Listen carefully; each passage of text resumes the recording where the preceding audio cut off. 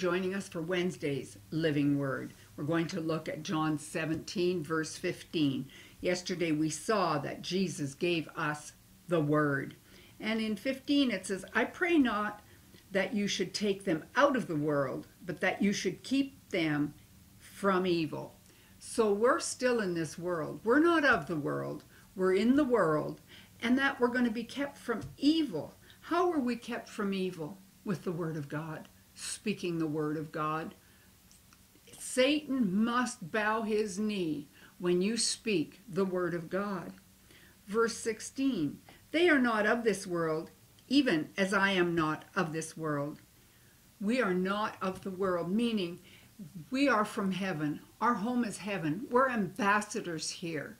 And we're not to go according to the world system. We are to go the way Jesus did. He said, I am not of this world. Well, he was still in the world, he was in a flesh body.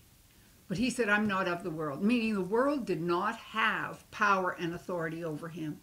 And Satan, it says that he is defeated. Jesus came to manifest, he was manifested to destroy the works of the evil one.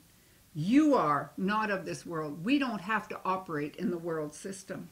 Verse 17 Sanctify them through thy truth. Thy word is truth. There is only one truth, and that's the word of God. And that God word sanctifies us. It means to be sanctified, set apart as or declared holy or consecrated. God's word, as you walk in it, you will be separated from the world, separated from the power that the world has to destroy you.